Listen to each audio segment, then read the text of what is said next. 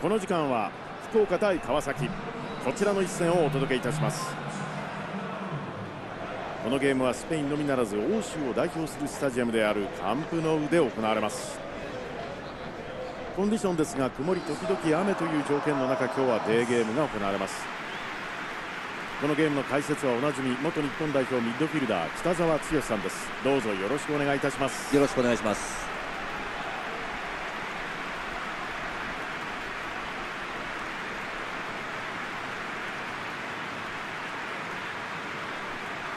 福岡442のシステムですがどうご覧になりますか？非常にバランスの良いシステムですよね、はい、横一列フラットに、まあ、ブロックを作ることによってサイドからの攻撃がやりやすくなりますよね、うん、まあ、これに対して同じ442でも中央にダイヤモンドができる4312のシステムがありますよね、はい、まあ、これも中央に預けてサイドバックがオーバーラップするパターンがやっぱ非常に多くなってきますよね。今やサイドバックは守備だけでないんですねそうですね。またその上がるタイミングというのがすごく重要になってくるんですよね、ねまあ、常にこう守備を意識しつつ、中盤が前を向いた時にタッチライン際を一気に駆け上がる。サイドアタッカーにならないといけないんですよね、はい、そのタイミングが体に染み込んでいるサイドバックこそ相手にとって怖い存在になってきますよね、はい、まず前半見ていきましょう。福岡対川崎。エキシビションマッチですこの序盤ゲームの入り方としては相手よりも先に主導権を握りたいですよね、ね、自分たちのフットボールをする、そのためにはまずファーストシュートを狙っていくことですよね、はい、まずは序盤です。家長。大島。山根。谷口。ボールを下げてリズムを作るか谷口から長いボール縦へ。和子。さあ渡り。裏のスペースを狙う。この位置でボールを受けます。ファーサイド。このクリアボール拾いたい。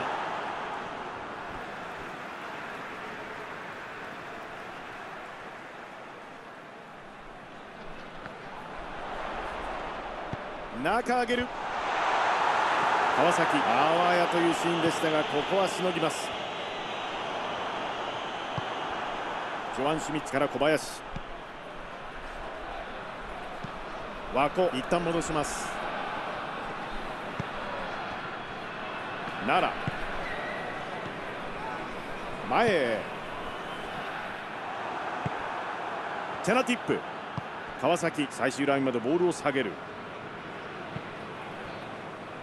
谷口。谷口から縦へのボール。山根。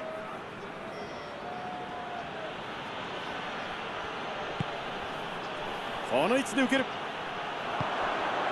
シュート。杉山のセーブ。どうする？大島。足元大事にいきます。クロス。このクリアボール次へつなげたい。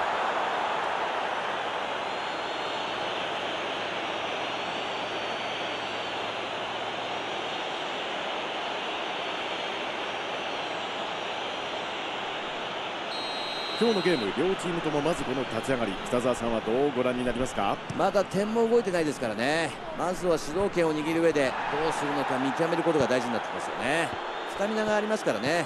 ミスは少ない時間帯ですのでじっくりいってほしいですよね。小林。川崎先ほどからサイドバックが随分と高い位置を取っていますね。そうですね。全体的に押し上げるイメージで、はい、相手が引いている時なんかには有効な戦術になりますよね、うん、ただサイドの裏のスペースのケアは必要になってくると思うので、はい、中盤の選手が1枚下がってバランスを取るなどした方がいいですよね、うんまあ攻守の切り替えまさにこれがポイントですよね。そうですね。さあシュートレンジだ。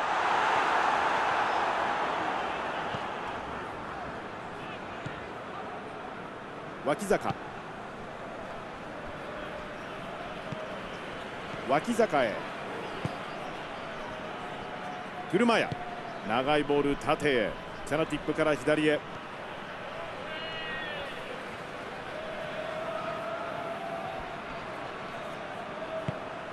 佐々木この人は攻撃参加を非常に好む選手です。佐々木。ここで丁寧にコントロール。いいプレッシャー。渡りワンマへ前半17分を経過。福岡。前半ここまでまだこれといったシーンはありません。前へ。前へ。重弘へ。田中へ。フワンマさあどうする。重弘へ。ミドル。川崎ディフェンスの対応の仕方に問題があったのか。今のは非常に危険なシーンでした。いや思い切って打ってきましたよね。いい姿勢ですよね。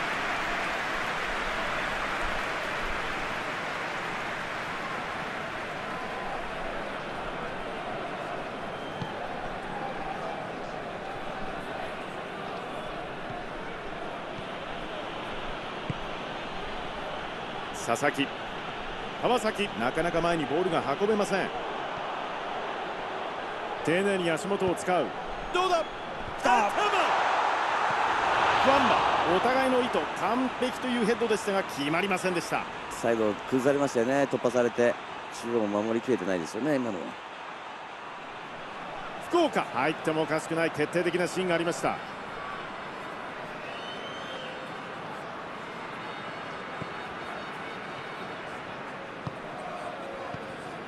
谷口。川崎少し消極的に見えます。脇坂へ。山根。素早いパスで攻め上がっていきます。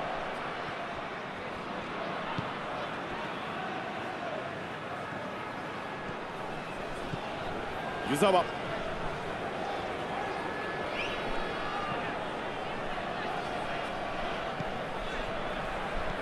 アーチのようなパス。さあ渡り。ボールが上がる。ここ拾って次につなげたい。川崎。ボールの奪い合い激しいものがあります。ここでファールがありました。レフリーの注意が入ります。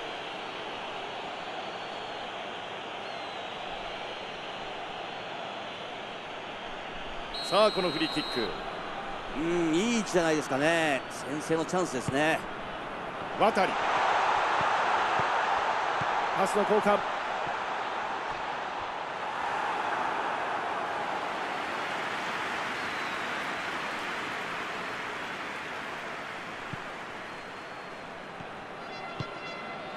脇坂。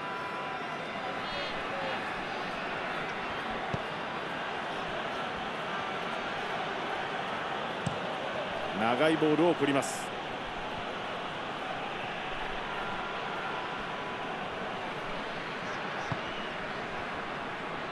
前。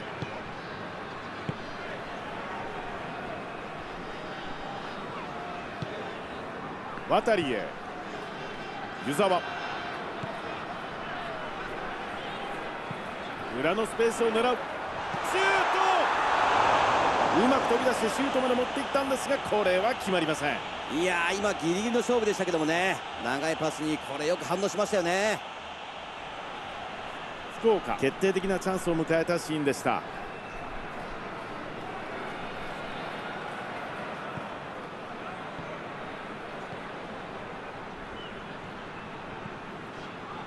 山根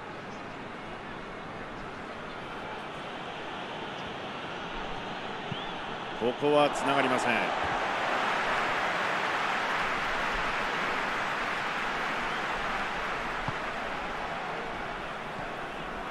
和子。奈良。大きく縦へ。小林。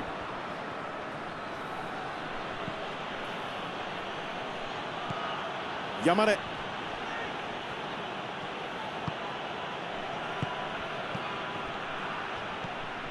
もう30分を回ったところです。リズムを刻む。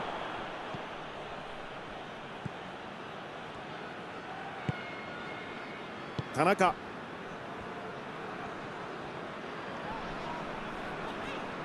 1人持ち上がっていく。ボールはクリア。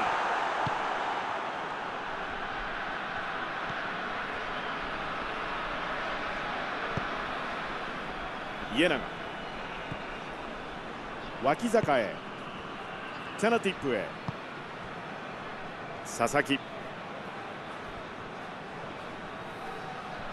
こで丁寧にボールを扱う。大島。大島から左サイド。チャンスを演出できるか？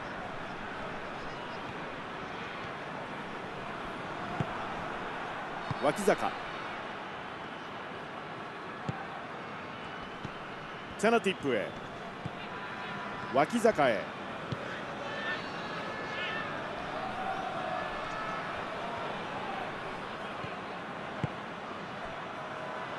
シミッチへ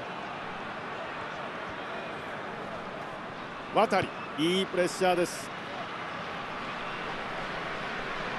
大島ここは対応します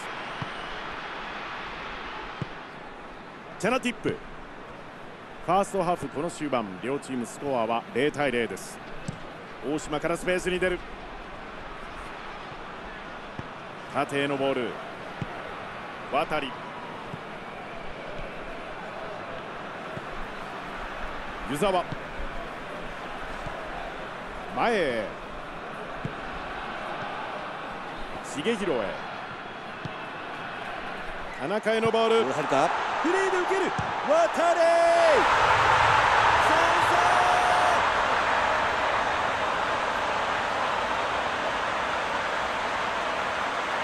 素晴らしいパスワークからのゴールが生まれました。これだけの連携プレーっていうのはチーム全員が意識してないとなかなかできないんですよね。見事な崩し方ですよね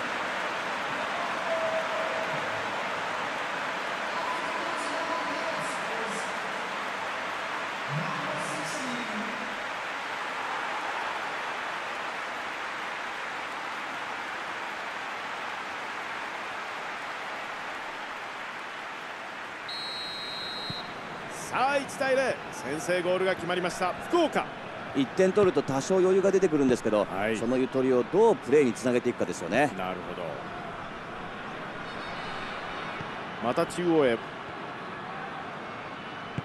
家永からアーチのようなパス。さあサイドのスペースへ。しかしこのボールは合いませんでした。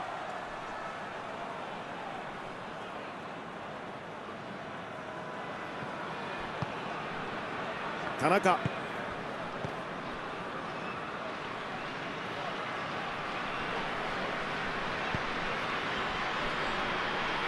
湯沢。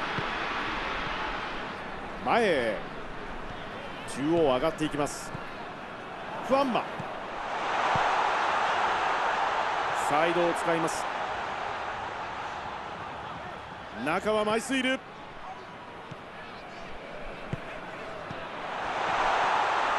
重弘へ。速いパス回し。田中へ。さあどこに出してくる。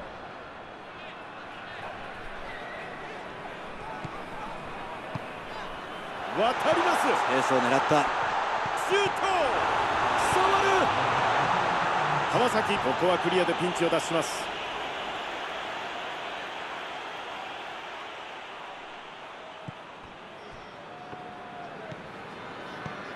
湯沢組み立てながら攻め上がっていく。右側から上がっていくか。重弘へ。田中へ重弘へ。そして今前半終了の笛が吹かれました。前半から得点が動いています。福岡先制してそのままリードで折り返しました。いい前半でしたよね。中盤でシンプルにボールを回しながらチャンスを作ってましたよね。福岡対川崎。福岡まずは1点先制して後半へと向かいます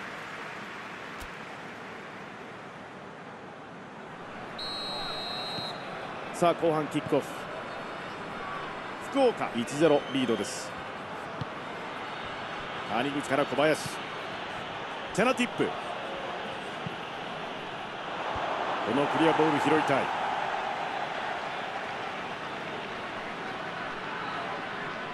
和子。田中へ。田中へ。ワンマへ。ここ来ましたよ。フリー。だチャンスを演出できるか。重弘へ。パスの交換。重弘へ。重弘へ。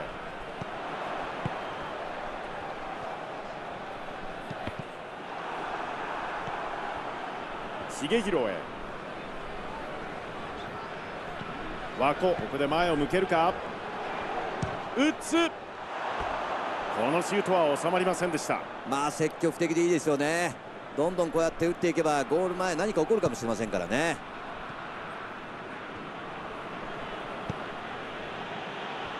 車屋。大島。ジョアン・シュミッツから大きく縦へ。シュミッチへ。谷口。脇坂へ。細かくパスをつないで攻め込んでいきます福岡。ここクリアで難を逃れます。勝負のシーン湯沢。前へ。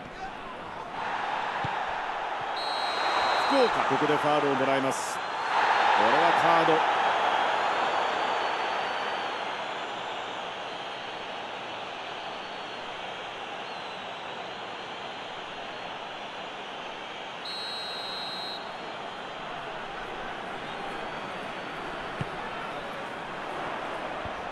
川崎あわやというシーンでしたがここはしのぎます。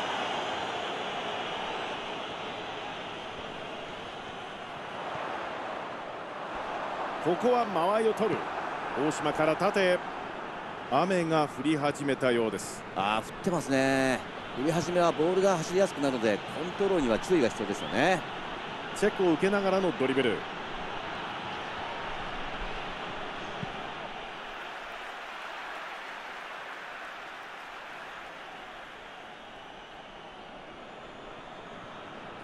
上げてくる。うんタイミング合いませんでしたね。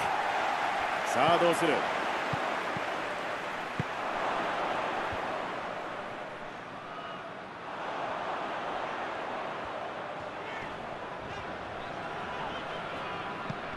佐々木。谷口福岡。このセカンドハーフの序盤1点差でリードしているんですがこの後はどうご覧になりますか？まあこの入り方もそうなんですけども大事なのは次の1点でしょうね。この時間帯の1-0は非常にシビアですからね。できれば早い段階で決めに行けたら最高ですよね。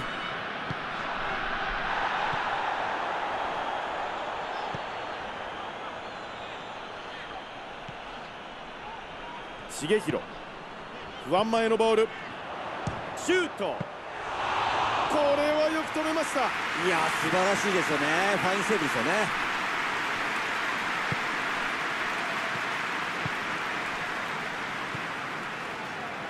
山根。チャレンジはしません。後ろに流す。ここまでご覧になっていかがですか北澤さん。時間的に相手も動いてくるタイミングですからね。それにしっかり対応して。シュート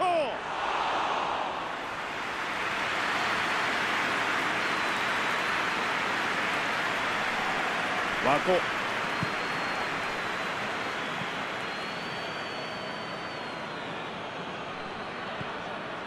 不安前重弘へ。不安前重弘へ。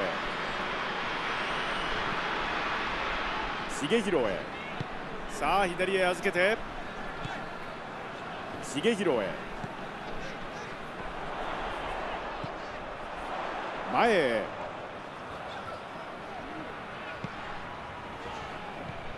田中この試合ですでにアシストを来たさ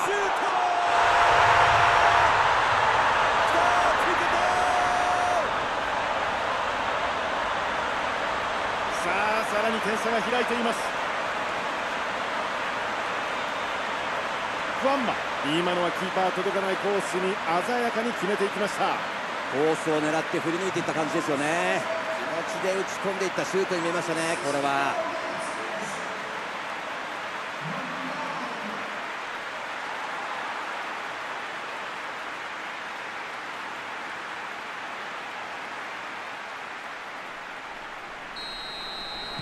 得点を重ね2対0という展開。福岡としてはこうなると主導権も握りやすくなりましたよね、はい、2-0リードは精神的にも肉体的にもバックアップが大きいですからね。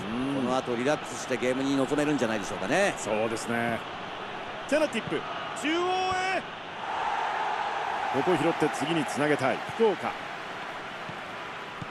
収まったフリーだ。渡り。体を張ったプレー。必死のクリアですよね脇坂。北澤さんここまでご覧になっていかがですか？福岡としては無理して人数をかけなくてもいい状況ですよね。今は守備に集中して隙があったらゴールを狙っていくスタンスでいいと思いますけどもね。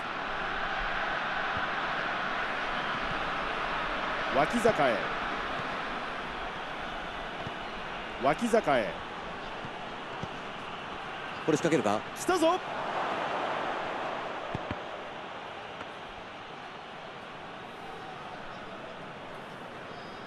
田中。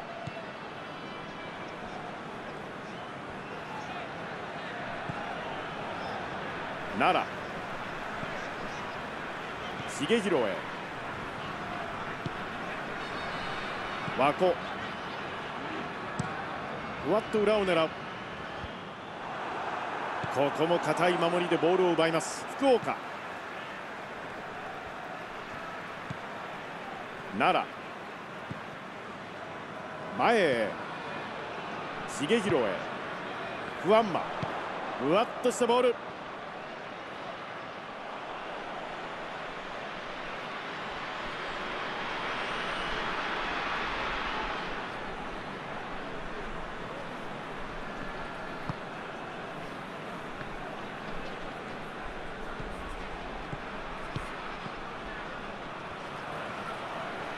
裏を狙っていきます。どうする？こぼれた。福岡。ここクリアで難を逃れます。裏へ届くか？ここで受けて。さあどうだ？佐々木。大島。脇坂へ。家長へ。チャナティップへ脇坂へ。チャナティップへ。さあ残り15分。さあどうする？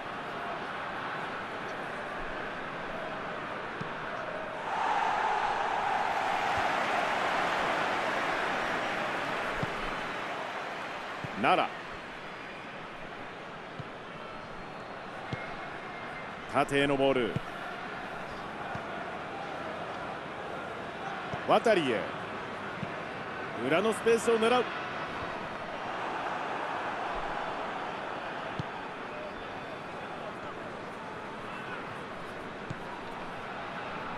車屋。大島。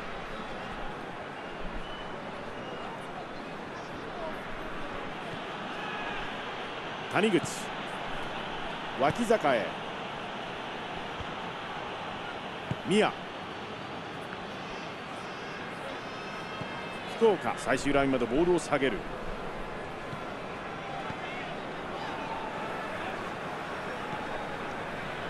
渡りへ。前へ。緩く狙ったボール。田中へのボール。ファーサイドへのボール。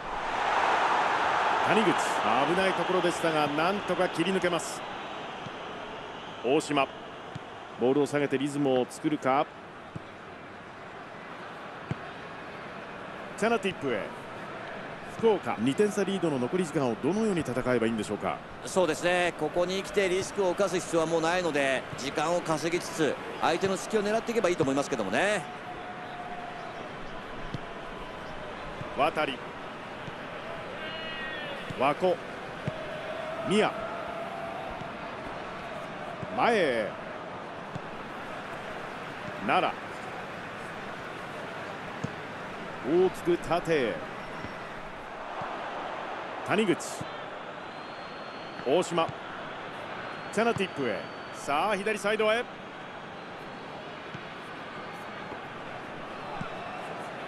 チャナティップへ。シミッチへ。家長へ。小林へ。さあどこに出してくる。ここでファールがありました。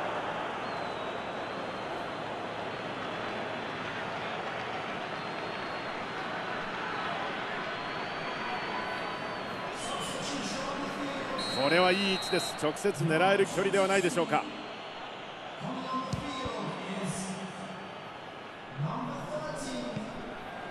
ジョアン・シミッチ。